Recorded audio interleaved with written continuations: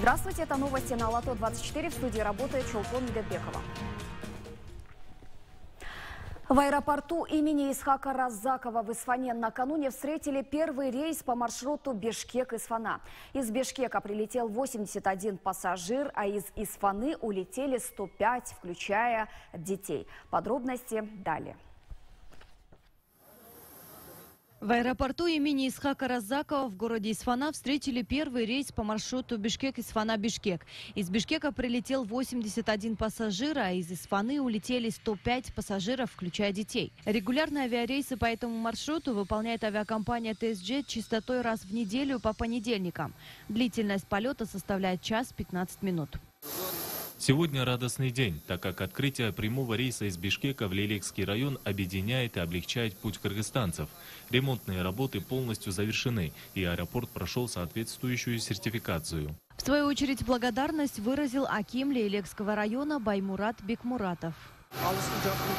Отрадно, что после нескольких лет аэропорт в городе Исфана вновь начал функционировать. Наши жители ждали этого дня, так как за час 15 минут можно будет без проблем долететь до столицы. Отметим, в 2020 году аэропорту присвоили имя Исхака Разакова. Также завершилась реконструкция взлетно-посадочной полосы, рулежной дорожки, стоянки для воздушных судов и перрона. Уложено 75 тысяч квадратных метров асфальтобетонного покрытия с применением современного специального синтетического материала геосетки. Длина взлетной полосы 1735 метров, ширина 35 метров. У граждан появилась возможность добраться в столицу и обратно за короткое время. Время полета чуть больше часа. А в аэровокзале созданы все необходимые условия, все обновлено и отремонтировано. Кроме этого, в 2019 году был построен новый аэровокзал общей площадью 553 квадратных метра с новыми стойками регистрации, досмотровыми аппаратами, багажной лентой, комнатой матери и ребенка. Другими словами, созданы благоприятные условия для пребывания пассажиров в аэропорту. Бегаим Бегалиева, Тимур Садагалиев, Фалато, 24.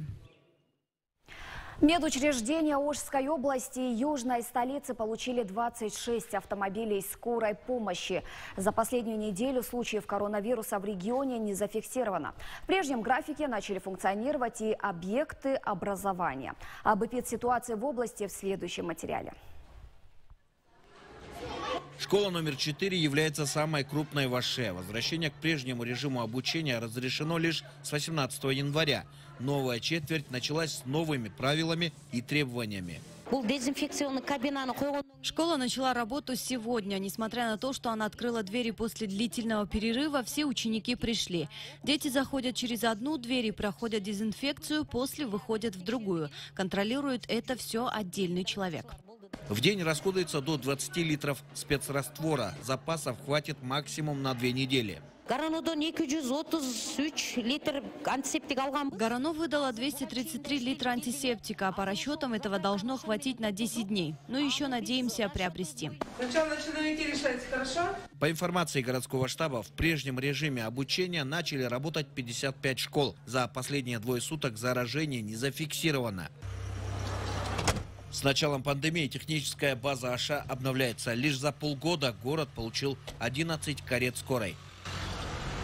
В основном вызывают э, сердечные больные, с давлением. Несчастных случаев очень много. Вот, детские вызова. Все. А ковид? У ковид сейчас уже в данное время мало. На станцию поступает ежедневно более 150 обращений, дежурит 26 единиц техники. Однако учреждение по-прежнему нуждается в реаниматологах, кардиологах и педиатрах. В период пандемии такого рода современная техника была нужна как воздух. Благо, что техническая база обновляется, но у нас по-прежнему недостаток кадров. Мы готовы сотрудничать с желающими. На сегодняшний день эпидситуация в регионе стабильная. Медики, в свою очередь, просят граждан не расслабляться, тем более на фоне нового штамма вируса, который сеет панику в Европе. Улан Тасенов, Нуркас Абдрахманова, Миргуль Бокошева, Акджол Айбашев, Алату 24, город Ош. В Таласе начали свою работу детские сады. Неделю назад заработали 16 дошкольных учреждений Бакаятинского района. Ожидается открытие подобных учреждений в областном центре. Для этого объявлены тендеры на закупку продовольственных товаров. Вместе с тем Санэпидемнадзор выдал разрешение начать работу и детским садикам во всех районах. Подробности далее. Детский сад номер 9 в городе Талас был закрыт одним из первых. Впоследствии в ноябре здание дошкольного учреждения передали для размещения обсервации. Санэпидстанция проводит дезинфекцию. Работы начали с сегодняшнего дня. Откроем где-то в 25 числах. В областном центре дошкольные учреждения откроются 25 января. И если раньше в группах воспитывались 30-40 деток, то теперь их количество не должно превышать 25. Мы приняли такое решение согласно 201 постановлению. Требования такие. На одного ребенка отводится 2,5 квадратных метра.